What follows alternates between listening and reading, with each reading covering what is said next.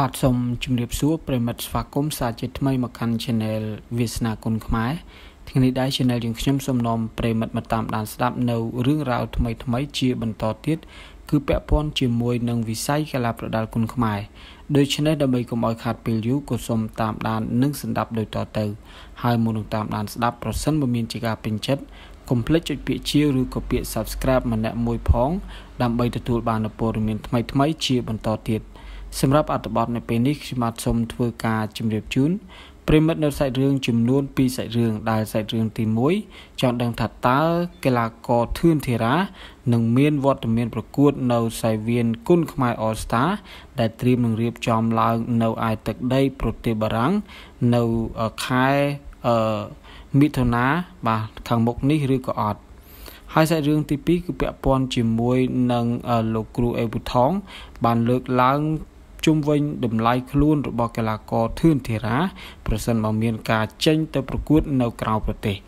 ចង់ដឹងរឿងរ៉ាវលំអិតទាំងពីរសាច់រឿងយ៉ាងណានោះសូមតាមដានស្ដាប់ទាំងអស់គ្នា បាទឥឡូវនេះយើងចូលសាច់រឿងទី1គឺពាក់ព័ន្ធជាមួយនឹងសាច់រឿងរបស់បាទលោកគ្រូសុនអេលីតបានធ្វើការបង្ហើបក៏ដូចជាបង្ហាញនៅគេហៅថា តម្រុយនៅសមាជិកភាពគុណខ្មែរខ្លះខ្លះហើយ ដែលត្រៀមនឹងចែវរួមប្រកួតនៅព្រឹត្តិការណ៍គុណខ្មែរ All Star ដែលត្រៀមរៀបចំឡើង នៅឯទឹកដីប្រទេសបារាំងនៅអំឡុងខែមិថុនាខាងមុខនេះបាទបើតាមអដឹងពីលោកគ្រូសុនអេលីតបាទសម្រាប់គុណខ្មែរដែលត្រៀមចូលរួមប្រកួតបាទនៅទឹកដីខេត្តប្រទេសបារាំងនោះ គឺមានតែដូចជាពីរប្រភេទ ទម្ងន់ទេបងប្អូនបាទដូចជាអឺជាគេហៅថាធំបំផុតគីឡូ65ហើយនិងតូចបំផុតគីឡូ60បាទអញ្ចឹងទេគឺជា គីឡូ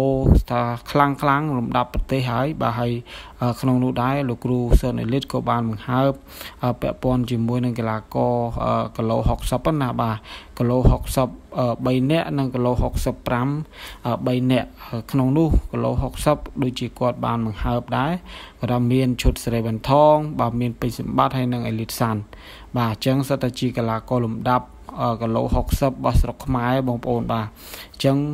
គឺជារឿងល្អមែនតើដែលគាត់យកកីឡាករជើងខ្លាំងលំដាប់ជួរមុខរបស់ប្រទេសយកទៅចូលរួមប្រកួតនៅឯសៃវៀនធំធំបាទជាពិសេសគឺជាការឈានជើងបាទគឺចេញដើរក្រៅប្រទេស ដំបងរបស់គុណខ្មែរ All Star គឺថាចូល ហក់ដល់ទឹកដីប្រទេសបារាំងតែម្ដងបាទអញ្ចឹងមិនធម្មតាទេបងប្អូនបាទអញ្ចឹងដឹងតែកក្រៅក៏ហើយបងប្អូនអឺប្រហែលជាចង់ដឹងអំពីសមាជិកភាពដៃគូប្រកួត របស់គុណខ្មែរដែលត្រៀមប្រកួតនៅគុណខ្មែរអស្តាននៅឯប្រទេសបារាំងយ៉ាងម៉ាមិញលោកគ្រូសនលីថាពងតែបង្ហើបពងតែប្រាប់ទេបងប្អូនបាទគ្រាន់តែថាធម្មតាទេកម្មវិធីគឺថាតែងតែចង់ឲ្យមហាជនអ្នកគ្រប់គ្រងងើយឆ្ងល់បន្តិចសិន កុំឲ្យថាគ្រាន់តែចេញកម្មវិធីមិនទាន់អីណាផងប្រហើបពីដៃគូប្រហើបពីកម្មវិធីអស់ពេកធ្វើឲ្យចំណាប់អារម្មណ៍តាក់ទងជាមួយនឹងកម្មវិធីហ្នឹងវាអាចថយចុះបាទចឹងឥឡូវយើងនិយាយពីរឿងធឿនធីរ៉ាបាទមានបងប្អូនអ្នកគ្រប់គ្រងធ្វើការសួរទៅលោកគ្រូសុនអេលីតថាតើព្រឹត្តិការណ៍គុណខ្មែរអស្តាវៈ 7ដែលរៀបចំឡើងនៅទឹកដីប្រទេសបារាំងហ្នឹងមានវត្តមានកីឡាករធឿនធីរ៉ាដែរឬទេបាទជាការឆ្លើយតបនៅសំណួរនេះលោកគ្រូសុនអេលីតក៏ធ្វើការជម្រាបជូនដល់បងប្អូនអ្នកបានសួរហ្នឹងគាត់ថាតាមពិតទៅតាំងពីវគ្គ6មកម្លេះសម្រាប់កីឡាករធឿនធីរ៉ាលោកគ្រូសុនអេលីតបានធ្វើការសហការជាមួយនឹងលោកគ្រូអេវូថងក៏ដូចជាក្លឹប របស់លោកគ្រូអេវថងហ្នឹងដើម្បីធ្វើការប្រកួតវគ្គ6ហើយត្រៀមយកទៅវគ្គ7ដែលរៀបចំឡើងនៅទឹកដីបារាំងទៀតប៉ុន្តែដោយសារតែមានបញ្ហាមិនដឹងគាត់គេហៅថាបញ្ហាអីបញ្ហាអីយើងក៏មិនដឹងដែរប៉ុន្តែក៏គាត់ថាអាចថាមានការរាំងស្ទះមួយចំនួន បាទក៏ធ្វើការសុំដកខ្លួនដកបេក្ខភាពវិញមែនតែនទៅក្លឹបលោកគ្រូអេលោកគ្រូសូនអេលីតថាត្រៀមនឹងយកចេញទៅរហូតដល់2 3នាក់ដែលយកទៅប្រកួតនៅប្រទេសបារាំងណាបាទតែឥឡូវនេះគឺថាប្រហែលជាអត់មានទេដោយសារតែ អឺធឿនធីរ៉ាក៏គាត់អវត្តមាន នៅក្នុងកម្មវិធីនេះដែរបាទអញ្ចឹងអត់មានវត្តមាន របស់កីឡាករធឿនធីរ៉ាចេញទៅប្រកួត នៅប្រទេសបារាំងទេបងប្អូនបាទអញ្ចឹងបងប្អូនកុំងើយឆ្ងល់ហើយសម្រាប់វីដេអូក៏ដូចជាព័ត៌មានទី1ក៏បញ្ចប់បាទពាក់ព័ន្ធជាមួយនឹងថាតើវត្តមានរបស់ធឿនធីរ៉ាមានប្រកួត នៅទឹកដីប្រទេសបារាំងឬក៏អត់បាទអញ្ចឹងអត់មានទេបងប្អូនបាទឥឡូវចូលសាច់រឿងទី2ដែលសាច់រឿងទី2នេះគឺពាក់ព័ន្ធជាមួយនឹងអឺរឿងរ៉ាវរបស់បាទធឿនធីរ៉ាដែលលោកគ្រូអេវថងគាត់បានលើកឡើង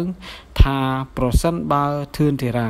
ចេញទៅប្រកួតនៅសាវៀនក្រៅស្រុកតម្លៃខ្លួនទៀបបំផុតក៏100,000បាតដែរដែលស្មើនឹងប្រមាណជា3000ដុល្លារបាទអញ្ចឹង100,000បាតគឺថា3000ដុល្លារនេះគឺថាជាតម្លៃទៀប បាទជាងគេមួយហើយសម្រាប់កីឡាករធឿនធីរ៉ានៅពេលដែលចេញទៅប្រកួតនៅក្រៅស្រុកហើយលោកបានលើកឡើងថានៅពេលដែលគាត់ទាតម្លៃខ្លួនថ្លៃបែបនេះមិនមែនត្រឹមតែជាផលប្រយោជន៍មួយរបស់កីឡាករធឿនធីរ៉ាទេ ហើយក៏ជាការផ្ដល់តម្លៃដល់គុណខ្មែរមិនមែនថាខាងក្រៅគេចង់បានចេះតែយកទៅងាយងាយដោយមិន គេហៅថាមិនផ្ដល់តម្លៃផ្ដល់កិត្តិយសដល់គុណខ្មែរយើង គឺអត់ទេបាទគាត់គាត់ថាកលាគាត់លក្ខណៈថាមានគេហៅថាសមត្ថភាពប៉ុណ្ណេះគឺថាខ្ញុំគាត់ជឿថា គេចង់បានចេះតែចង់ឲ្យបងប្អូនបាទតែមុននឹងចង់បានគេត្រូវគិតពីតម្លៃរបស់កីឡាករគុណខ្មែរយើងនីមួយនីមួយសិនបាទអញ្ចឹងគាត់លើកឡើងនេះគឺ admin ទៅគ្រប់គ្រង100%តែម្ដងទៅលើអឺសម្ដីរបស់លោកគ្រូ អេវូថងដែលជាគ្រូបង្វឹកផ្ទាល់របស់កីឡាករធឿនធីរ៉ាហើយមួយវិញទៀតតកតងជាមួយនឹងការប៉ះគ្នារវាងធឿនធីរ៉ាជាមួយនឹងផេតមរកតបាទលោកគ្រូអេពូថងថាលើកមុន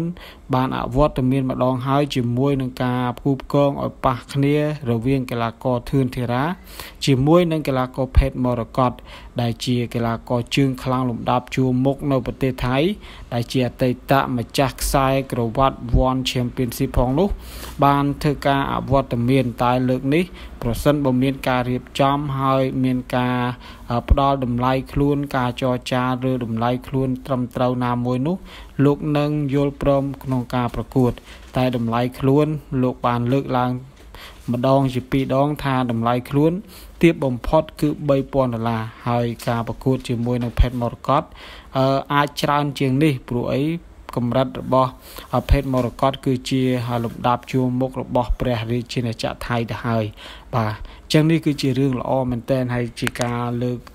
យកមកនេះគឺថា admin គ្រប់ត្រហើយបងប្អូនយល់ឃើញថាតើគួរតែរៀបចំឲ្យមានការប្រកួត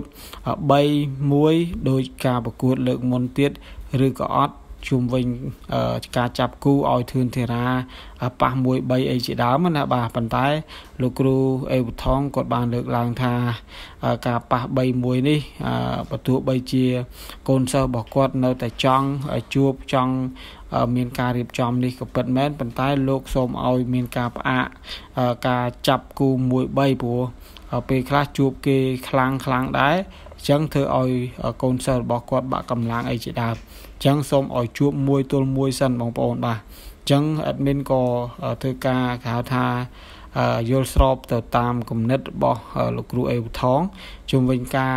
ផ្អាកការចាប់គូ1 3ព្រោះការ1 3មិនមែនជារឿងសំដែងទេបងប្អូនបាទគឺវាយយកឈ្នះវាយយកចាញ់មែនតែនអញ្ចឹងទេធ្វើឲ្យបាក់កម្លាំងបាទការប្រកួតនៅកាលពីសប្តាហ៍កន្លងទៅនេះ ក៏យើងមើលពីសមត្ថភាពរបស់ធឿនធីរ៉ាចូលទឹក1ទឹក2គឺថាគាត់លក្ខណៈថានីតិម្នាក់ពីរនាក់គឺថាគាត់អាចទប់ណាតែដល់អានាទីទី3សឹងតែថាវាបងប្អូនបាទសឹងថាគេហៅថាផ្លុំផេះវេលែងហុយបាទចឹងវាអស់មែនតើបងប្អូនហើយវាយគេសន្លប់តែម្នាក់ហើយរាប់ម្នាក់ខណៈដែលម្នាក់ទៀតកីឡាករថៃគឺថា គេល្អបាទគេល្អដែរបាទដាក់ផឹងទៅគេងើបដាក់ផឹងទៅគេងើបចឹងទេក្នុងរយៈពេលខ្លីដែរចឹងมันអាចព្រួលគេបានទេបងប្អូនបាទចឹងវីដេអូនេះក៏មានតែប៉ុណ្្នឹងទេហើយក៏សូមអធិស្ឋានបាទរាល់កំហុសខុសឆ្គងសម្រាប់ការអធិប្បាយរបស់ admin នៅពេលនេះនៅពេលនេះខ្ញុំបាទសូមអរគុណសូមជម្រាបលា